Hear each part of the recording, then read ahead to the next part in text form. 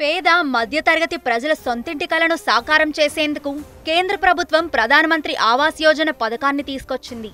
ఈ పథకం ద్వారా హోమ్ లోన్ తీసుకున్న లబ్ధిదారులకు తమ లోన్లో కొంత సబ్సిడీ లభిస్తుంది.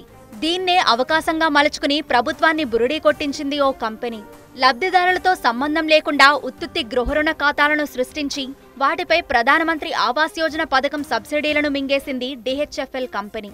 దీని ఖాతాలను ఆడిట్ చేయడంతో ఈ మోసం బయటపడింది.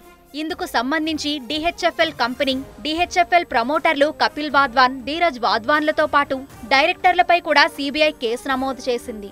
డిహెచ్ఎఫ్ఎల్ ఖాతాలను ఫోరెన్సిక్ ఆడిట్ చేసిన గ్రాండ్ టర్న్ టర్న్ సంస్థ ఈ మోసాలను వెలుగులోకి తీసుకొచ్చింది.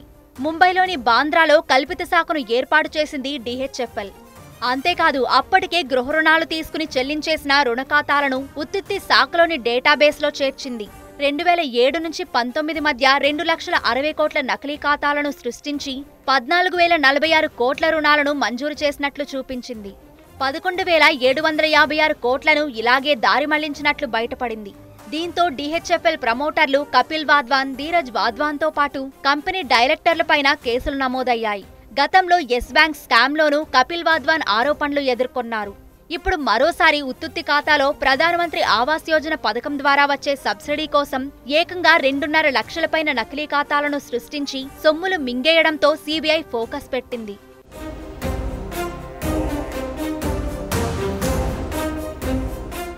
వార్తల వెనక వాస్తవాలు.